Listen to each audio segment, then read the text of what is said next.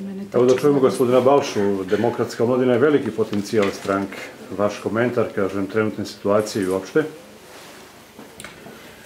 Dakle, u demokratskoj stranci mladi ljudi su zaista uvek bili e, ti koji su davali tu jednu vrstu energije, jednu vrstu nekog entuzijazma e, i kada su izbori i kada su u pitanju e, i rad na terenu i organizaciji i kada su u pitanju ideje i sve ono što da kažem, krasi mladi svet u, u Srbiji. Kao najveći potencijal društva, mladi su uvek bili značajni demokratskoj stranici. Jako je važno da, da e, večera sa ovog skupa koji smo imali i u ovom opštinskom odboru pošaljemo jednu poruku da e, e, moramo da, da, da, da vodimo računa o tom mladom svetu koji mora da ima alternativu i koji želi svoju budućnost da veže za Srbiju, za Dimitrovgrad, za Pirotski okrug. E, jako je važno da, da, da shvatimo koliko e, e, e, su oni e, bitni za dalji razvoj e, Srbije i ekonomski, kulturni i svaki, svaki drugi.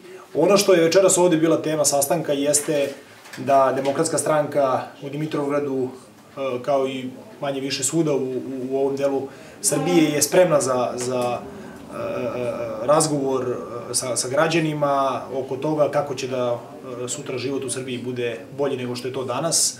Večera smo između ostalog razgovarali na, na razno razne teme, pa između ostalog i kako je stanje danas u zemlji. Sa 4 milijarde zaduživanja za ovih 6 meseci, sa 0% investicija, sa e, nijednim jedinim evrom koji je ušao u Srbiju, obećavane su stotine i stotine e, milijardi evra, sa najvećom inflacijom i stopom nezaposlenošću u istoriji ove zemlje, e, dovedeni smo zaista u jednu nezgodnu situaciju i kao društvo i taj mladi svet zaista nema, nema dalje budućnosti kada je u pitanju ekonomska situacija ovde u Srbiji. Mi želimo stvari da menjamo zaista istog momenta, brzo, imamo program i plan, 17. marta na radnoj skupštini predsednik demokratske stranke Dragan Đilas zajedno sa svojim timom ljudi, e, sa podpredsednicima demokratske stranke i članovima predsedništva će prezentovati građanima e, e, plan demokratske stranke za izlazak Srbije iz krize. Da vas podsjetim da je to jedini plan koji danas postoji u Srbiji. Nema ga ni vlada, nema ga ni jedna druga opozicijona stranka. Umeđu vremenu dižemo kapacitete svoje E, organizacije. 12. marta, kao što znate, e, svake godine obeležavamo e, dan kada je ubijen pokojni premijer Srbije, prvi demokratski premijer i predsednik demokratske stranke, dr. Zoran Đinđić. Taj datum je jako važan kako za članove njegove porodice, demokratsku stranku, tako i za sve one građane koji su zajedno s njim bili u prvim borbenim redovima da bi stvarali slobodnu, uspešnu i modernu zemlju. E, mi ćemo organizovati jednu veliku šetnju u Beogradu i to je centralni skup e, e, tog dana.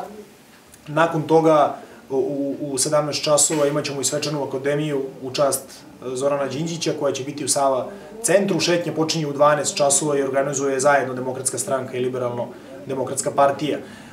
Ovde takođe večera smo teli da pošaljemo poruku da rukovodstvo opštine Dimitrovgrad na čelu sa Vladicom Dimitrovim, e, zatim ovaj opštinski odbor koji je ostvario sjajne rezultate i ovaj tim ljudi imaju apsolutnu i punu podršku e, demokratske stranke i predsedništva demokratske stranke i jako je važno da, da e, i uz pomoć svojih prijatelja iz Bele Palanke koji takođe imaju jedan sjajan rezultat na izborima i sjajnog predsednika opštine, pošaljemo poruku celom okrugu da je vreme da zaista E, odgovorni i ozbiljni ljudi koji imaju politiku i znaju kako preuzmu odgovornost e, e, i u drugim mestima u Srbiji.